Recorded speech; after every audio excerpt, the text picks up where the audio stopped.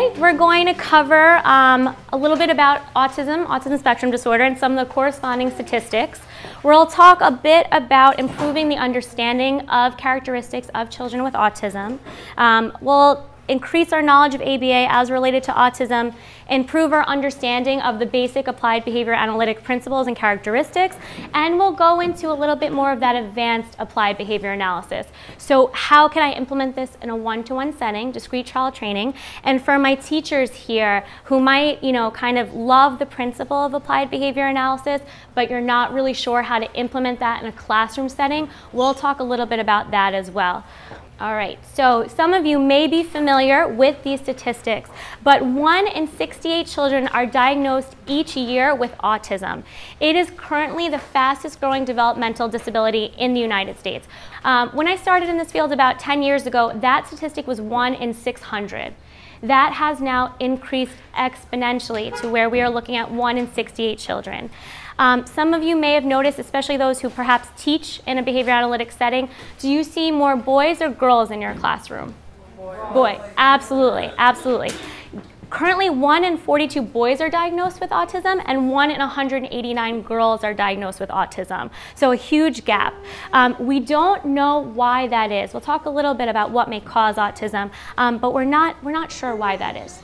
So autism, according to autismspeaks.org and the cdc.gov, can cost families up to $60,000 a year. Does anybody have an idea, and please just shout out, have an idea about why that might be the case, why it could cost families so much money?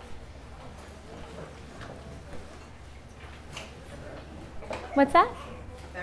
Yeah, absolutely, absolutely, absolutely. There's a, a huge um, spectrum of reasons why it can cost families so much money.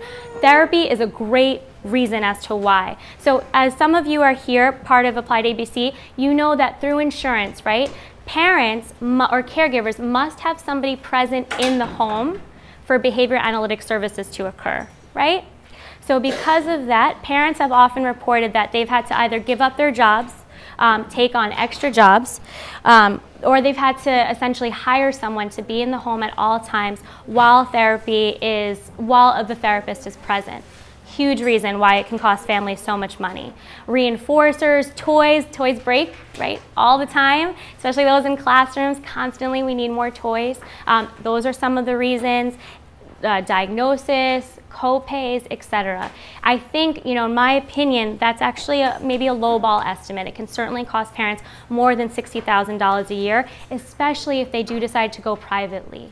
I think we'll talk a little bit about this, but insurance has definitely been something that has gone a long way in helping parents um, get therapy for their children. So we're going to talk about some of the characteristics of autism. Just kindly take a glance at some of these vignettes, um, and I'm going to ask you a little bit later if you think um, that child may be diagnosed with autism. So according to the DSM-5, um, which is the Diagnostic and Statistic Manual of Mental Disorders, autism is no longer known as autism. It's now known as autism spectrum disorder. So has, is anyone familiar with the term Asperger's disorder?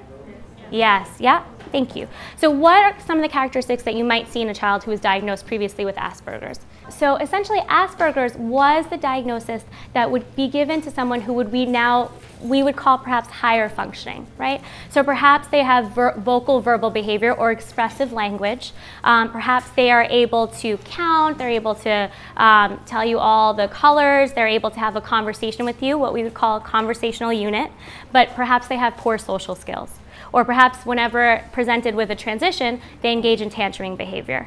So essentially, it was the, it was the diagnosis given to children who were, or individuals with autism who were higher functioning. Now that's been absorbed into something, into what is called autism spectrum disorders, or ASD as it's often termed, um, where now it encompasses all, uh, essentially all functioning levels. So you have the children who perhaps do not engage in vocal verbal behavior, meaning they don't have expressive language, all the way to those who can have a conversation with you, but perhaps are not able to initiate or sustain friendships with peers. So it now encompasses all of those different levels of ability. So we talked a little bit, um, before we go further, we talked a little bit about how the prevalence of autism has increased exponentially over the past 10 years. Who has an idea as to why that might be? Um, what are other thoughts as to why the prevalence has increased? there's more expansion on the umbrella of what's covered under autism. Yeah, absolutely right. Definitely. There's a whole number of reasons. Um, that is, you know, you brought up a really good point. We'll talk a little bit about it. There are a number of theories as to what may cause autism. I don't want to jump ahead too much, so we'll talk about that a little bit further. Um, there are some theories that have research behind it, whereas other theories have maybe come through pop culture or maybe come from um, an idea that was later debunked. It is really fascinating where someone, um, for example, Jenny McCarthy. I don't know if anyone's familiar with that name. Um, she went, I think, on Good Morning, Amer Good Morning America NBC Today and said that her child with autism was allergic to gluten. I think that was what she said. And so that we had a whole host of children now on gluten casein-free diets. Um, that theory has not been proven interestingly. So something to kind of, if a parent talks to you about that, there's no research that supports that gluten and casein-free diets help children with autism, or that gluten and casein are what cause autism. But again, as if you're a parent, certainly you want to try everything you can, right? And we'll talk a little bit about this, but the only treatment for autism that's endorsed by U.S. Surgeon General right now is applied behavior analysis. So I thank you for bringing those theories up um, because it is an idea that many people have. Currently, none of those ideas have been linked to autism. There's been no research that's linked to vaccine, television, um, or different diets with autism, although people are absolutely uh, researching that. Although sugar can also provoke meltdown. Yeah, with me too, right? yeah, absolutely. But you're, uh, yeah. mutation, Yes. in the chromosome. You're absolutely right. That is one of the most heavily researched theories as to why autism might occur. You're absolutely right. Again, nothing's been proven, but that's the one that's most heavily researched. But as you were saying before, um, yes, absolutely. The umbrella has widened exponentially. So that is one reason why the diagnosis has increased with so much prevalence. Um, Another reason, people are recognizing what autism is, right? Back in the 40s, back in the 20s, 30s, um, we used the term, you know, even as, as recently as 40 years ago, we used the term severely mentally retarded. We no longer use that terminology. That was a recognized diagnosis within the, the DSM. No longer. Um, so people are recognizing autism, people are understanding what it is a little bit better, education has increased, and that umbrella has increased uh, exponentially as well. Thank you. I wanted to show you uh, the DSM-5 definition of autism spectrum disorder. We are definitely not going to read through it, um, but essentially to meet the criteria of autism, you must show, uh, or the individual must display severity in communication skills, social skills, and have some restrictive repetitive patterns of behavior. Uh, for those who do work um, with children with autism through insurance, you may or may not be aware, but the children or the individuals that you work with must have a medical diagnosis of autism to get services. To have that medical diagnosis of autism, they must meet the criteria as set by the DSM-5. Actually, research has indicated that autism spectrum disorder, while it's the fastest growing developmental disability within the United States, is one of the disabilities or disorders that affects all people around the world equally. So it's very interesting. What might be causing those reports to occur is that certain countries recognize autism, whereas other countries may not recognize it. So again, I'm, I'm, moving ahead, I'm sorry, but something that you might find interesting is here within the United States, we're really lucky because we have a lot of education on autism, a lot of education on applied behavior analysis. But what might not surprise you is that even within our country, there are pockets of states that understand autism a little bit better than other states, right? And that holds true around the world. So very recently, within the past 15, 20 years, in Ghana, um, when a child has autism, what we would recognize as autism, they're thought by the families to have, um, to be possessed. And many of those children are sort of shut away. They're kind of put in some of them have been put, you know, in the back in cages. That's actually occurred because the parents are just, and through no fault of their own, they're just not aware of what autism is, and they don't have access to the resources. So it often goes underreported. Um, autism will often go underreported around the world. The statistic currently that we believe is true is about 75 to 80 million people in the world are, are diagnosed with autism. Many of, the, many of these people, however, are not diagnosed because of the parameters that we discussed. Okay, so what is ASD? According to the CDC.gov, it's a group of complex developmental disabilities that can cause social, communication, and behavioral challenges. Those are the three key, those are three key components, social, communication, and behavioral challenges. To be diagnosed with autism, you must, uh, the individual must demonstrate challenges in at least two of those three, uh, two of that three, those three criteria. Okay? So some of the behaviors that we might see, language communication skill deficits. I'm not going to give too much away because I'm going to ask you guys what that might be. Social emotional growth, someone brought up tantruming. Certainly that's something that we may see in a child with autism. And repetitive stereotypical behaviors. So before we define that, I'm going to throw that out to everybody. What are some of the characteristics in working with the population that you serve? And thank you all, truly, by the way, on a side note, for working with that population because it is not easy to go to work every day and work with those children every day. It is not easy. So thank you on a side note. Um, but what are some of the characteristics of autism or ASD that you observe in the population that we work with, in your students and the individuals you serve? Some of the characteristics of autism, as you described, we have your social emotional um, difficulties, right? You have the child that you might work with that has difficulty transitioning. Any changes in routine, I don't know if anybody has observed that in the children that, we, that they work with, that can be very, very difficult. Um, switching up something that you usually do can certainly be very, very tough. Um, and perhaps in a future training we'll talk about different ways to kind of work through that. And unfortunately, we don't have the time to do that today. Um, lack of awareness of a caregiver. So this is interesting. Um, we can now diagnose autism, or at least give an early diagnosis of autism as early as 12 months. Although you don't see it as frequently, that is something that is possible. There was a study that was done in 1991. The authors were named Osterling and Dawson. And what they essentially did, hopefully I'm not going off on too much of a tangent, was they studied videotapes of children who were later diagnosed with autism and typically developing children. What they found was that children who were later diagnosed with autism would kind of cycle, tricycle away from their peers. They'd be singing happy birthday and the children would be looking down. They wouldn't be responding to their name. And that were some of the first cues at how early you can diagnose autism and some of the characteristics that are very prevalent in a child with autism. Difficulty understanding social cues. I don't know if anybody here works with 10, 11 year olds, 12 years old, 12 year olds? Yes. Yeah. So you might be dealing with, and I'm going to throw it out there because it's a truth, masturbatory behaviors, or figuring out that they are different between, there are differences between girls and boys. And it's, it's a typical behavior, wanting to hug a girl really, really tight or hugging a teacher really tight and not understanding that that's inappropriate. That's something that's not talked about as much as I think it should be, but is definitely a characteristic of a child with autism, not being able to really appropriately interact with the opposite sex. Um, difficulty responding to gestures of affection, and that's always really hard for parents, right? Wanting to hug their child and the child shying away. Um, lack of eye contact, I think somebody said, delayed babbling or loss of language, loss of vocal verbal behavior. Um, difficulty in using gestures to communicate. Um, engagement restricted activities, and you do see some of those stereotypical behaviors, right? Hand flapping, jumping up and down, lining up toys, I don't know if anyone has observed that, spinning in circles. You also have behaviors such as head banging, um, hand biting, self-injurious behaviors that may occur. So keeping all that in mind, let's look at case one. Um, Suzanne is an 18-month-old girl who has just begun to crawl. For those of you who can't see, I'll read this out loud. When crawling, she typically moves backwards and expresses frustration when finding herself further from her goal location. Suzanne looks up when her mother enters the room, and she has begun to say mama, dada, as well as John for her brother. Might that be a diagnosis of autism? No. No. Very good. Very good.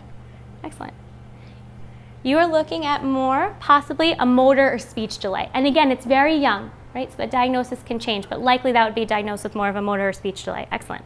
Omar is a two-year-old boy who's very affectionate and playful. He enjoys being around adults. He engages with other children only after parent or caregiver prompting.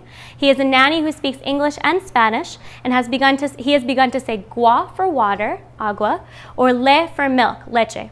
Omar's parents speak English and Arabic in the home. Might that be a diagnosis of autism? No. Oh, very good. Good. You guys are on point. Awesome. You're looking at more of a speech or communicative delay with that child. Yes. Very good, guys. I'm very impressed. Oh, Malik is a 20 month old boy who lives with his mother, sister, grandmother, and aunt. He has been observed to line up toys and communicates his needs by grabbing and crying. He enjoys playing with his mom and his sister. Might that be a diagnosis of autism? I hear, I hear one, yes, maybe. Anthony is a 2.5 year old boy who lives with his mother, father, and a newborn baby sister. He has stiff muscles and walks with a scissor gait. Occasionally, one leg drags when he walks. Anthony is able to communicate his needs with simple sentences such as, I want juice and give me toy. Might that be a diagnosis of autism? No. Very good. Awesome. That would be more what we would say cerebral palsy. Excellent. All right. So is anybody here familiar with the A word on YouTube? Know? So this is a great uh, this is a great tool for parents. We're not going to talk too much about you know interacting with parents and what parents go through, but that's certainly something that you may want to learn about at a different time. Um, but this is a little boy named Jack Riley. Let's hope our internet works. And this series of YouTube clips follows the family and follows Jack Riley as he was diagnosed with autism and how the parents um, and how the parents have learned to work through that and how he has learned to work through this with ABA. Wow. Sand. Does that feel funny in your hands? Do you want to go swing? Jack Riley.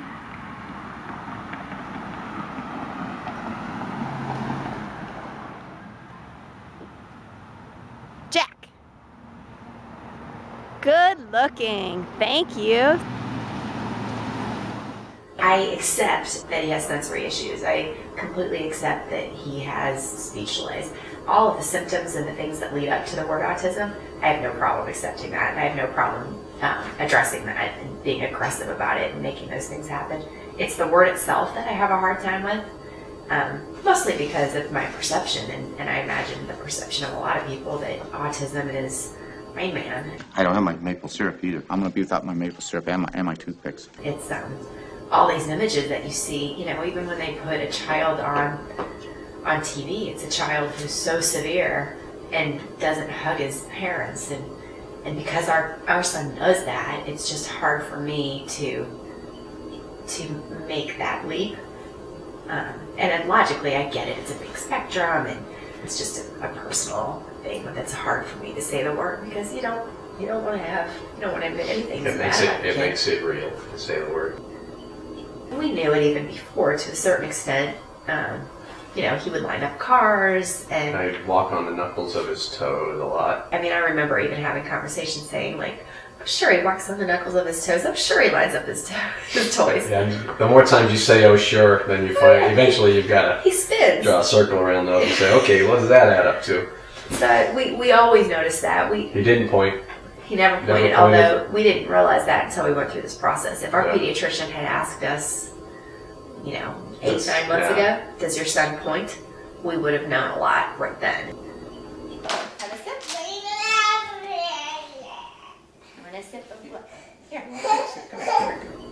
We decided last fall to get Jack Riley tested for speech delay.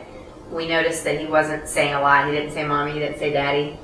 He was a little different when we would take him out in public. So we contacted the regional center to get him evaluated for speech delay, in my mind.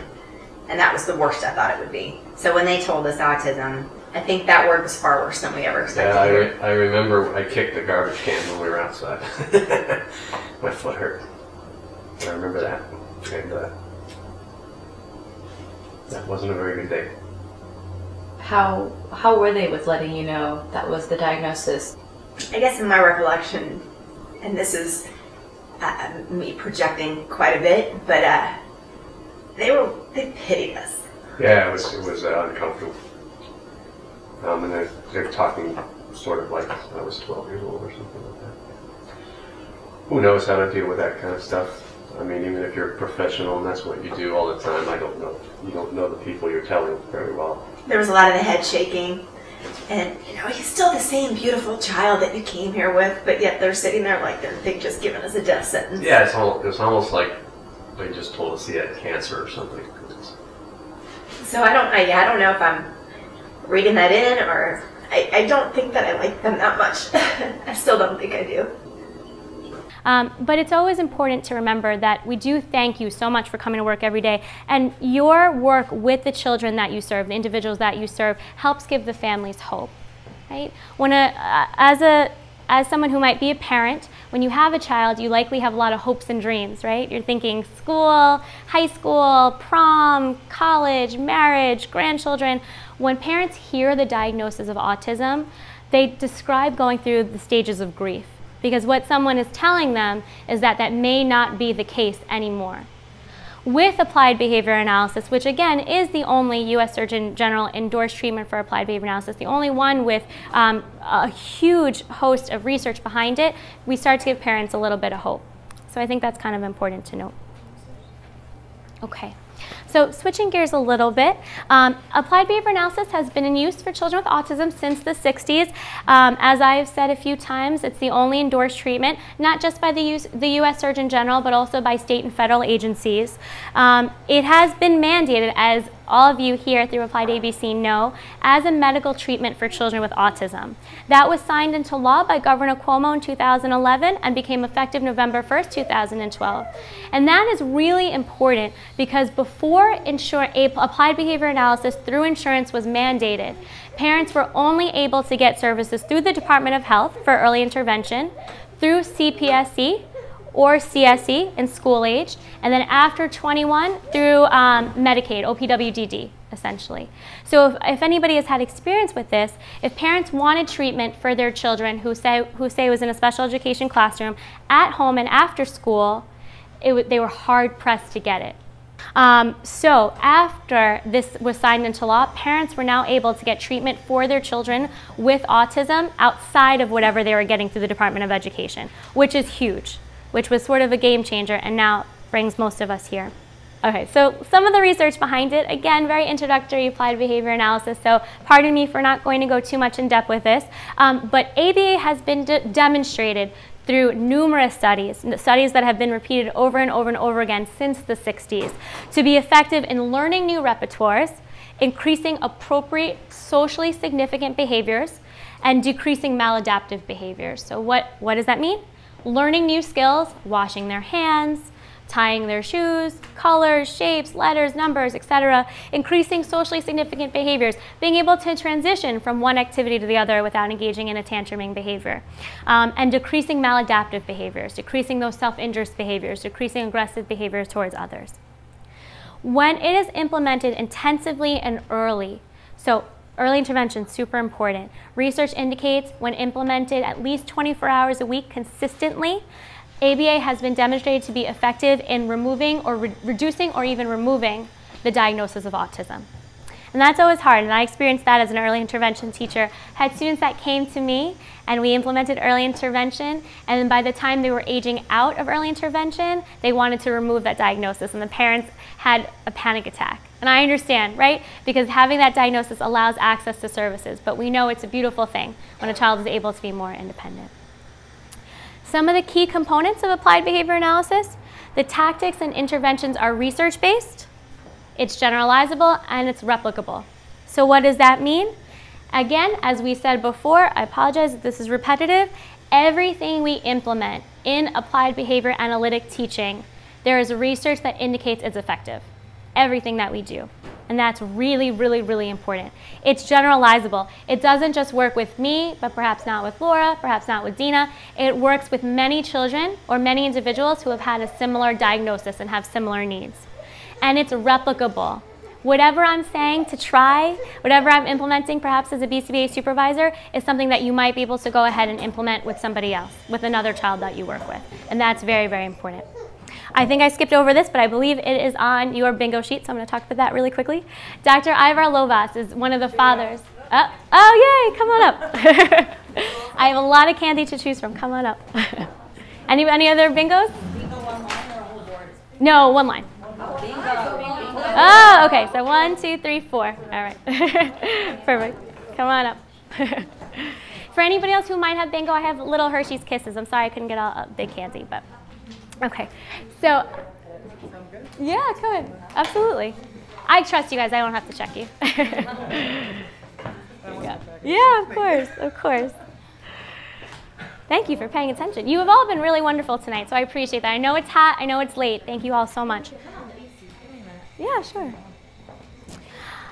So Dr. Ivar Lovaas, one of the fathers of applied behavior analysis, he was one of the first to implement behavior analytic principles in a study back in the 60s. Very briefly, what he found is he took about 40 children and split it in half, right? 20 children received the typical amount of applied behavior analysis that was common in those days, so I think it was about five hours a week, sorry Dina. Um, the other half, the other group received intensive behavioral interventions. What he found was that the group who received intensive behavioral interventions, um, I believe about half of that group went on to be in a general education setting, and the remainder saw a reduction in their diagnosis, a reduction in the, in the characteristics of autism that they had presented. In a follow-up study that he did 10 years later, the majority of those students had retained those gains. And he did another follow-up study in the 80s, so every 10 years, they had still retained those gains. And that study, or similar studies, have been done consistently since that occurred with the same findings. So I'm going to take a second to go back to Mr. Jack Riley. So after the diagnosis, um, he began instruction through applied behavior analysis, and this is Jack after about six months of ABA.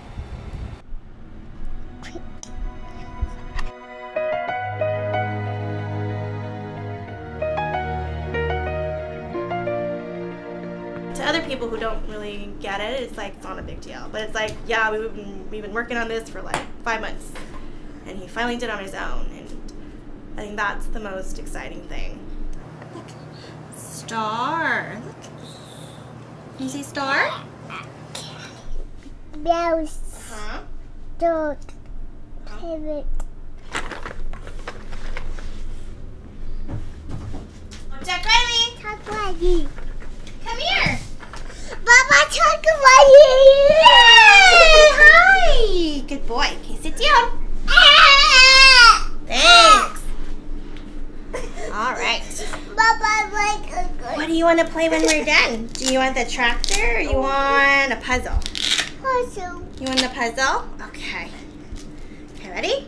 What is it? It's Say knees. it's me. Good boy. What is it? It's knees. Good job. Transitioning, he always has to say bye bye, and it just makes it so sad. But I know they use it as a transition word for him, but I kind of want to vary it so that it's not bye bye every time, like it's all done, or we'll play with it later, or something like that. And just kind of guiding him to whatever it is that we're doing.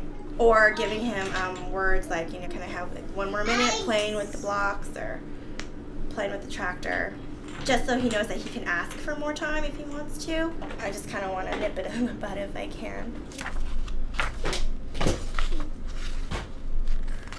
Okay, Jack, one more minute. Say okay. Okay. Okay. All right, so what are some of the changes that you see in Jack Riley since we last watched him? Yes, go ahead.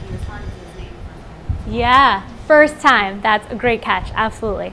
What else? He seems to be even sweeter. Yeah, he was, he's very sweet. Yeah, absolutely. repeating the words that the therapist is using. Yes, if anybody noticed in the first video, that's a great call out. He didn't engage in too much vocal verbal behavior, again, what we call expressive language, right? Now he's repeating, he's saying some things um, independently. Perfect. What else? Yeah. Yes. That is a great catch, right? He started to. He started to and then caught himself and knew that he was working for something. The tantrum lasted, if I had a timer, probably about a minute and, or a second and a half, if that.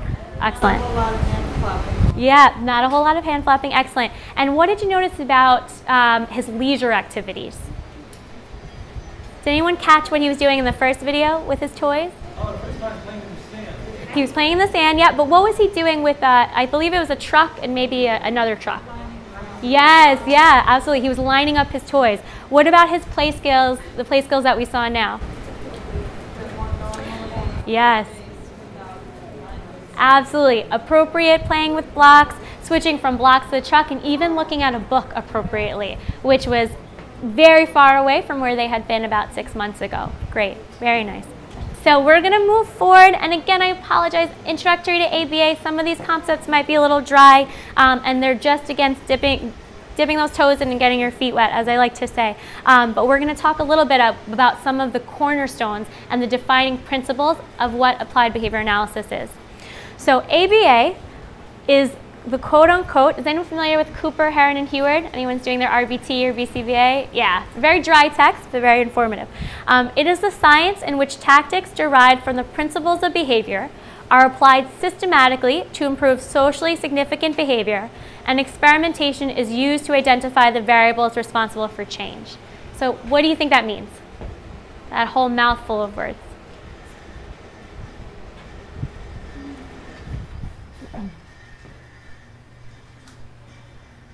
Throw out some ideas.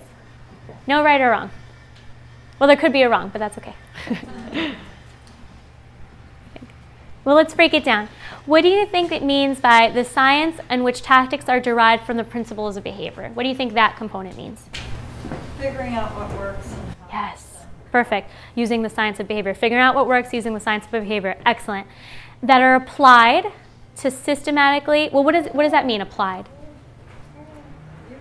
Yes, absolutely. And I, and I point that out because that's really important. It's one thing to kind of say, oh, I, this works. I think this works. I think you guys should all go out and try A, B, C, and D because I think it works.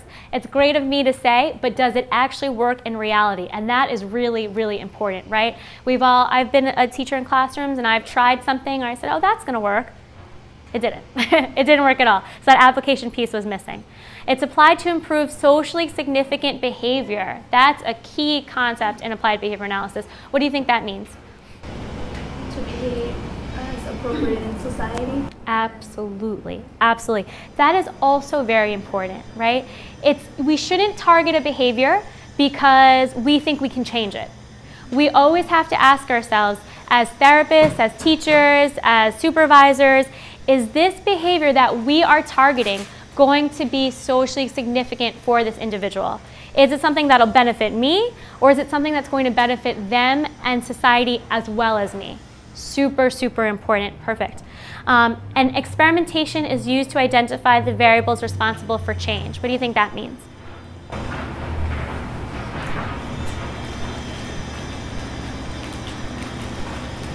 Guess it means don't, don't try something that you don't think is going to work. Yes, absolutely.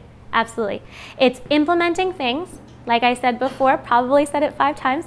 It's teaching as a science, right? Everything we're implementing is something that has been shown in the past through literature, through something we've done before that we can replicate to work. really, it's breaking down teaching to do it as a science, right? Because we know the science works. Perfect. So what are the seven defining characteristics of applied behavior analysis? And we're going to go through them. Applied, which we talked about a little bit already, behavioral, analytic, technological, conceptually systematic, effective, and generality. If anybody is studying for their RBT coursework, BCBA coursework, um, even the autism certificate, you'll probably come across, you'll definitely come across this with BACB work and probably with autism coursework. So applied, what did we say applied means? Oh, sure. Thank you for using your guided notes. I appreciate that. So applied, we absolutely said interventions dealing with socially significant behaviors. Behavioral, we're focusing on measurable, measurable behaviors. Now this is something that's a cornerstone of applied behavior analysis. It's something that's, that bears mentioning. It's difficult to define something we can't see, right? We talk about emotions, identifying emotions certainly. We want the child to feel happier, and that's an extremely important goal. The difficult part of that is that we can't define what that is. Right? What does it mean to be happy? What does it mean to deal? What does it mean to react to something without becoming aggressive, etc.? So we want to focus on behaviors that we can define so that we can measure them. And we do that so that another person who works with us can define and measure them the exact same way. It can because it can be that's a concept which I absolutely believe in, but that can be different for every person, right? Happiness to me for me can be different than happiness for you, can be different than happiness for somebody else. So that's a little bit tougher to actually operationally define. That's definitely the goal for everybody that we work with, right? That they're happy, that they're that they're feeling content, but it's tougher to actually define what that means. So what we do is define the behaviors that will lead to that feeling right? Define the, the prerequisite, the skills that would allow a child to be independent, leading to the feeling of self-fulfillment. Does that make sense? Unless you talk about a child that smiles. If you have a child who smiles when he's happy, you could, there's a way to measure it. Unless you have a child who never smiles, then you're right. Yeah, then it is a little bit tougher. But even when you have a child that smiles, it could be, there could be a private event, right? They could be thinking about something that's making them happy, so it's a little bit tougher to measure. That's a great point. So it's the, it, the, oh, sorry, the characteristics, it's analytic. So what does that mean? The intervention implemented caused a change in the behavior that we are targeting. So task analysis, did that actually lead to hand washing? If the task analysis could be great, is everyone familiar with the task analysis? No? No? Oh, all right. We'll have to make that a different training, Dina. Okay, so a task analysis, we'll talk a little bit about that um, further on in the training, but essentially it takes a big skill, such as hand washing, making a sandwich, tying your shoes, something that, you, that takes a lot of steps and breaks down that big objective into smaller short-term objectives that the child can meet, the individual can meet until they get to the long-term goal.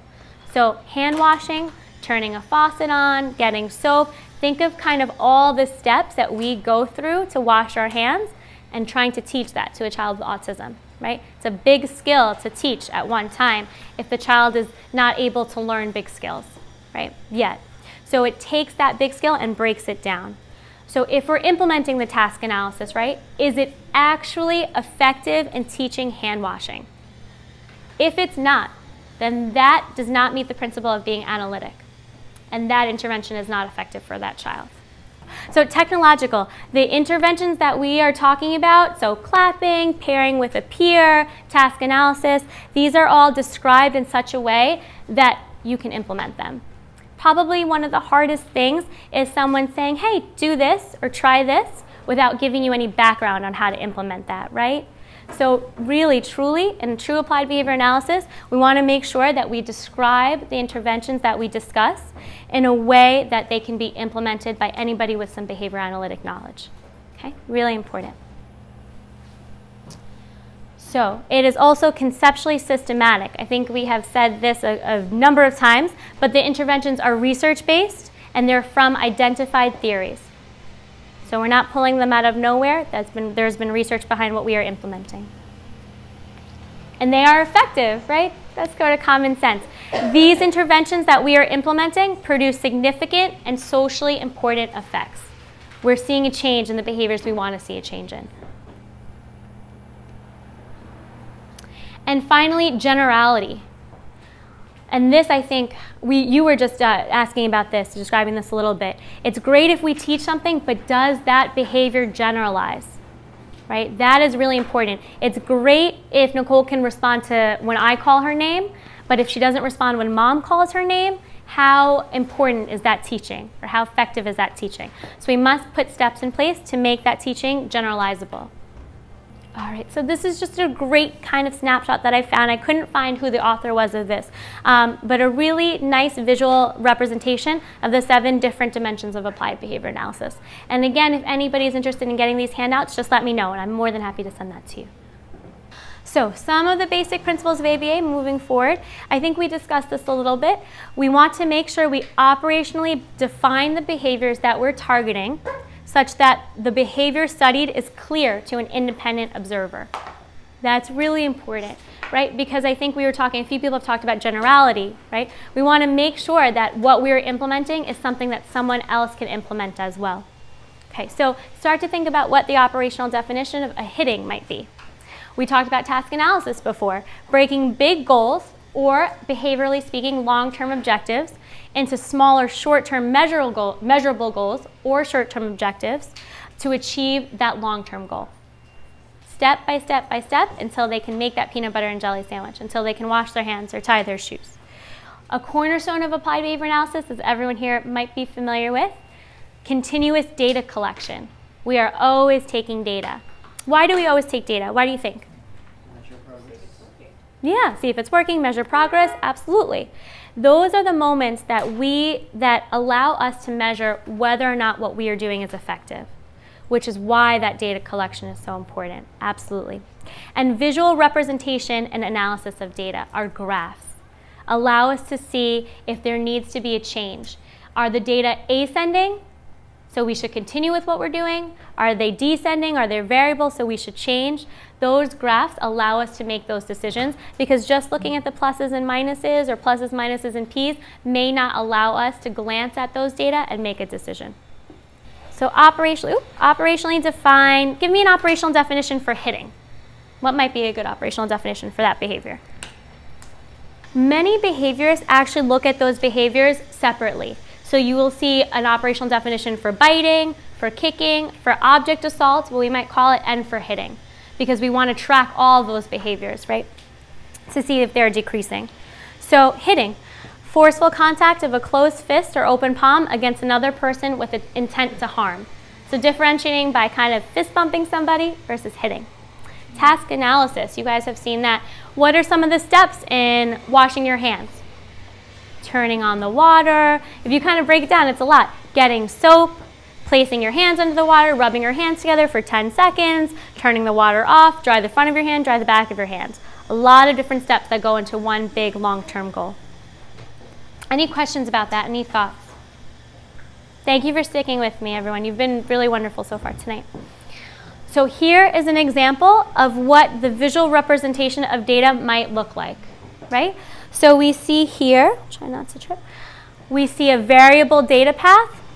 So we made a decision to change what we were doing. This indicated to me that this intervention is not effective, right? So we're missing some of those basic dimensions of applied behavior analysis, so we need to change what we're doing.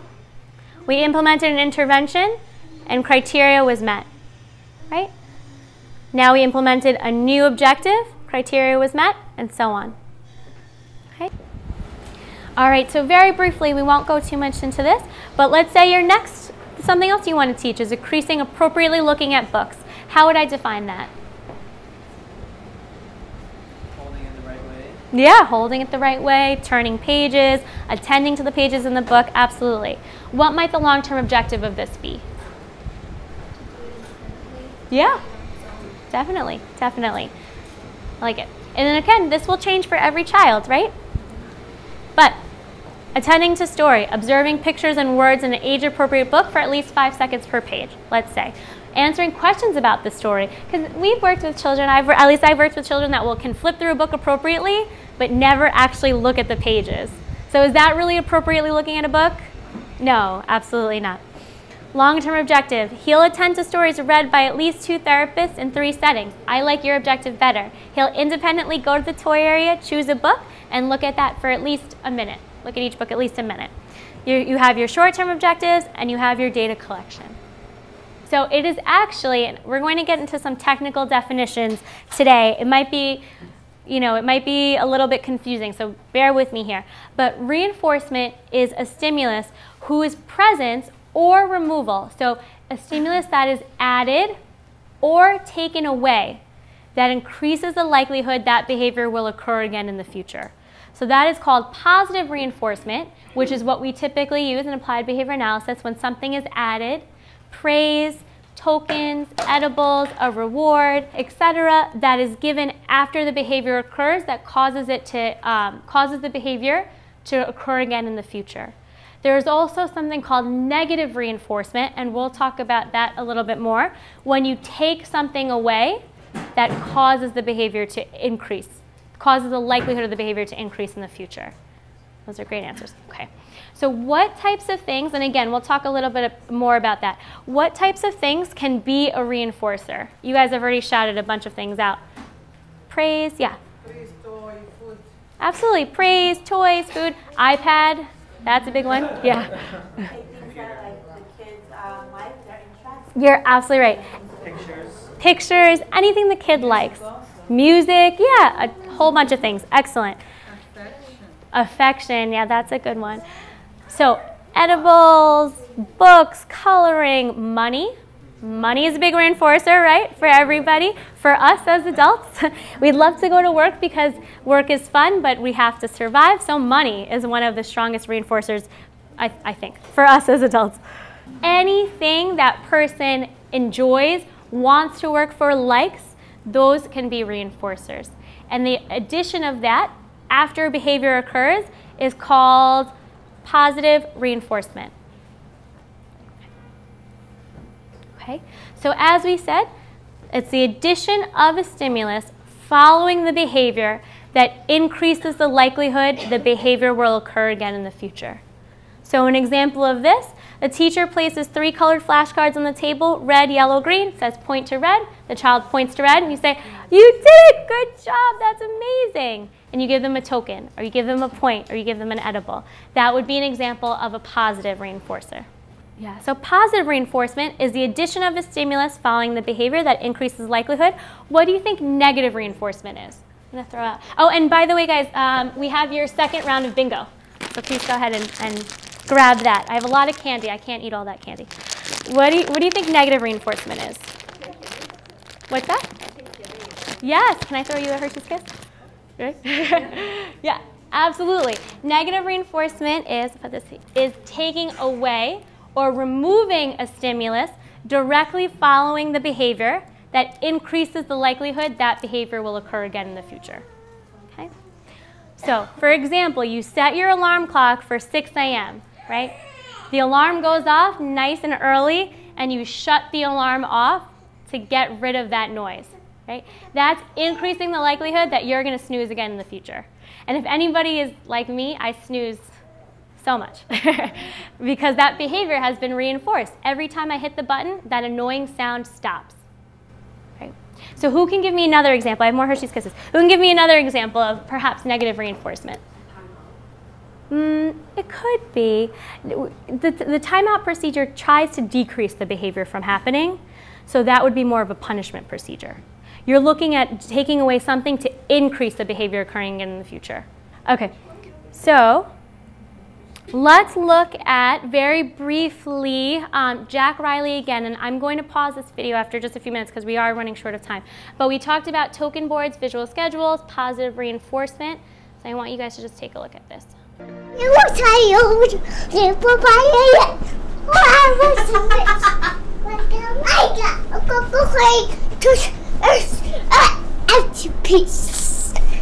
Have fun.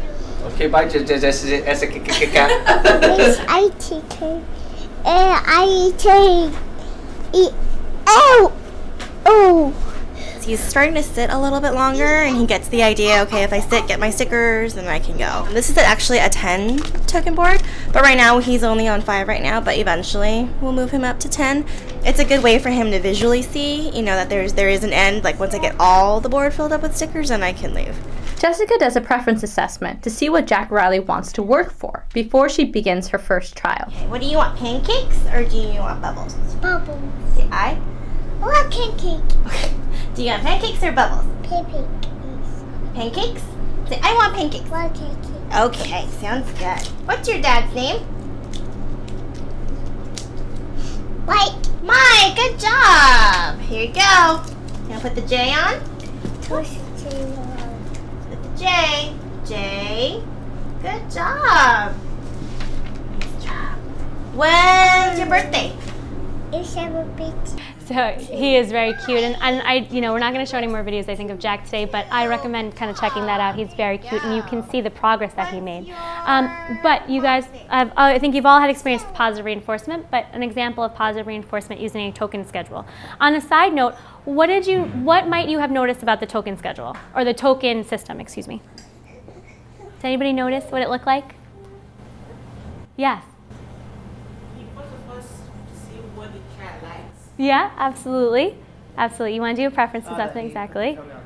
He put the token on himself. And what else about the token system did you notice?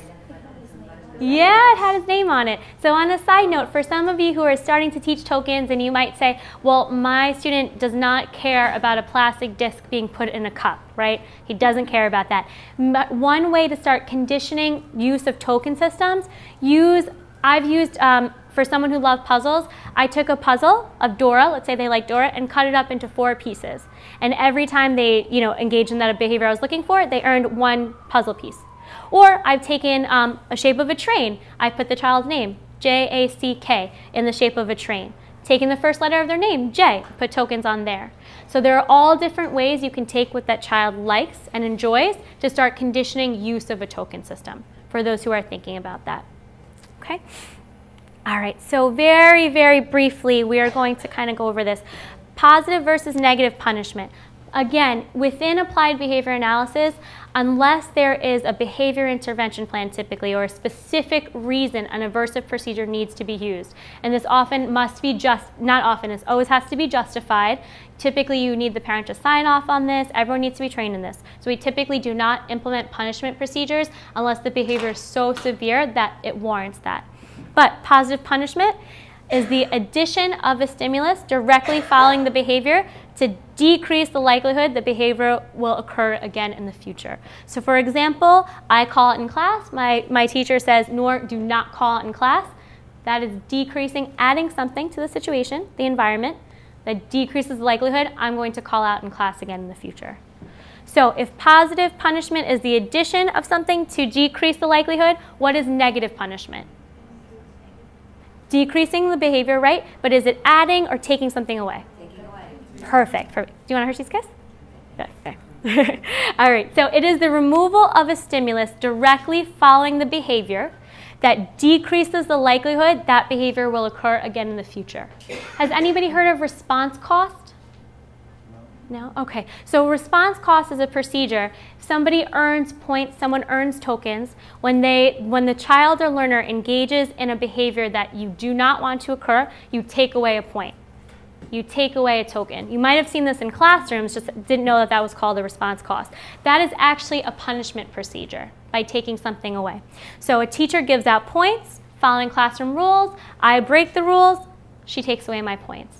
So she's removing something to decrease the likelihood that I'm going to engage in that behavior again in the future. Okay, so very quickly, just a visual representation of positive and negative reinforcement. We are running short of time, I'm sorry, so we're going to move forward. But you start your car and begin driving without buckling your seatbelt.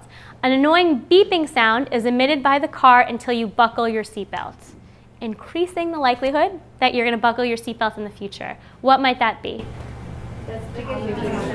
Negative, right? Negative reinforcement or punishment? Negative. Perfect. Negative reinforcement. Excellent. Okay? In a typically developing preschool, a three-year-old admits tantrum behavior during morning circle. The teacher responds with giving the student a three-minute timeout. When two teeners, teenagers cheat on a history exam, the teacher puts both students in detention. Punishment or reinforcement? Punishment. Excellent. Negative or positive? Very good. Very good, guys. This is a tough concept that you are working through, so I appreciate that.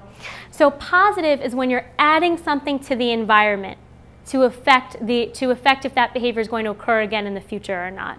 So you're adding something. So it's, for example, you're speeding down, you're speeding down the highway and you get stopped by a police officer. So you're adding the police officer giving you a ticket to, your, to the environment decreasing the likelihood that you're going to speed on that highway in the future, right? So that's the difference. It's adding or taking something away to affect if that behavior will occur again in the future. So let's say a child is in a timeout, right? And they want, the, or a child is engaging in behaviors in the circle. They keep running to their different friends, hi, hi, hi. And so they're seeking attention, right? Taking them out of the circle is now removing that attention from their environment to decrease the likelihood they're going to run around and say, hi, I'm Mike, hi, I'm Mike. So that would be negative punishment. So you always want to evaluate the situation within the environment. A writer sends in a short story to a local magazine. The editor doesn't publish the story, but emails the writer and says, you did a really nice job on that story, and I, I didn't publish it now, but I'd like to see future work. Uh, punishment or reinforcement?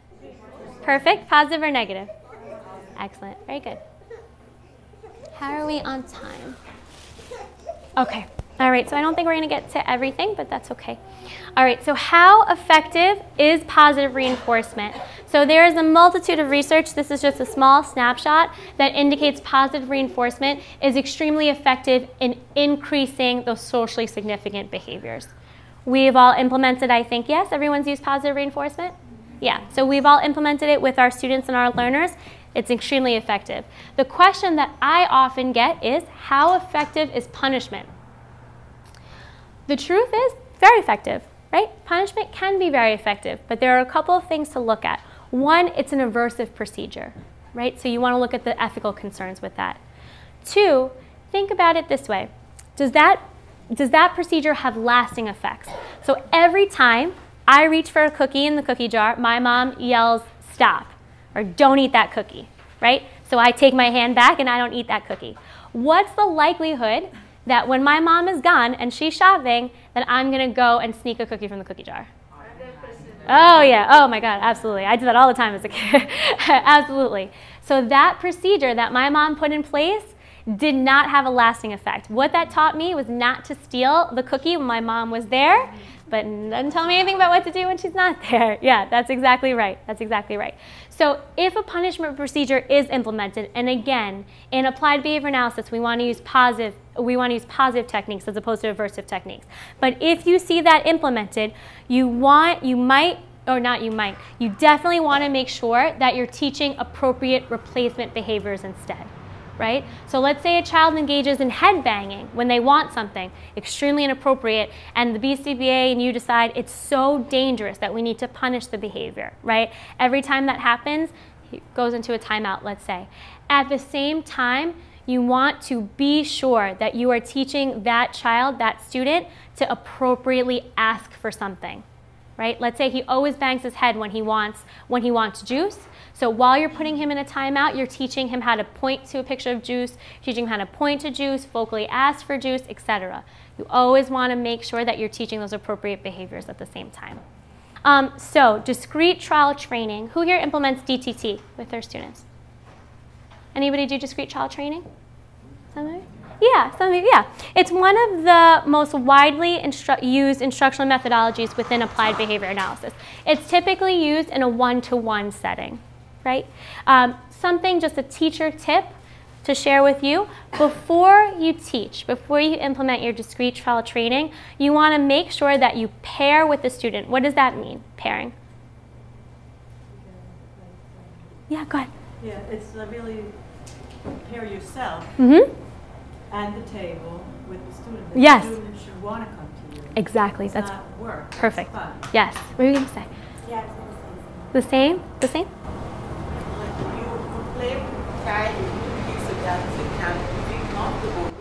Perfect all 100% right. I've seen teachers who have tried to, and you know, just without knowing, try to force a child to sit in a chair without first pairing themselves with the child.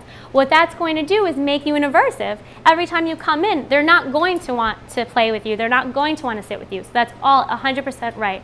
You want to, what we call pair yourself or behaviorally speaking, condition yourself as a reinforcer.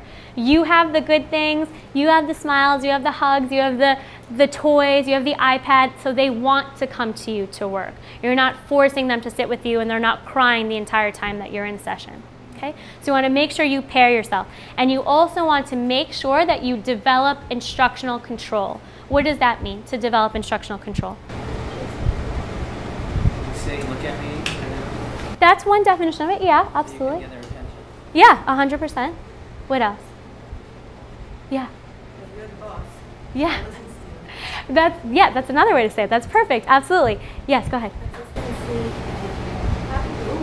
Consistency, rules, that is perfect. That's all 100% correct. Um, essentially, the child understands that when you ask for something or say something, you're going to follow through with that right? And that they understand that they need to follow your directions. They understand that they need to work with you. And again, you have, might have seen this, I've seen this, um, you know, as a supervisor. A teacher, again, not knowing, said to the child over and over again, nor sit down, nor sit down, nor sit down, without gently guiding that child to sit down or following through with that behavior.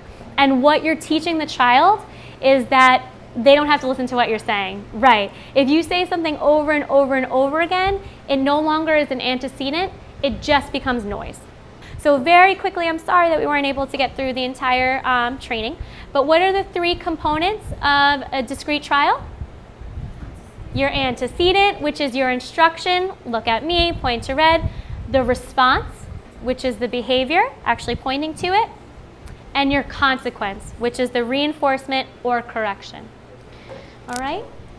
A couple of teacher tips here for you. Um, and unfortunately, we're at 10 o'clock, but I want to thank you all so much for being such a, such great listeners. I really appreciate it. Thank you so much, for coming out tonight.